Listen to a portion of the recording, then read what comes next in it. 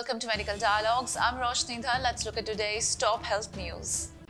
The preliminary probe into the Jabalpur New Life Hospital fire incident has revealed that the fire NOC had expired besides several shortcomings regarding fire safety, said the Madhya Pradesh Home Minister Narottam Mishra. Medical Dialogues team had earlier reported about the incident of a massive fire reported at New Life Multi-Speciality Hospital. At least 9 to 10 people had reported being killed in the incident.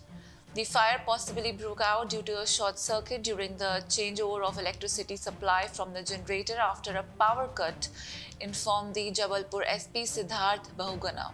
He also said that police have registered a case of culpable homicide against four doctors come owners of the hospital and arrested its manager and a doctor a day after the devastating blaze killed eight persons including four patients.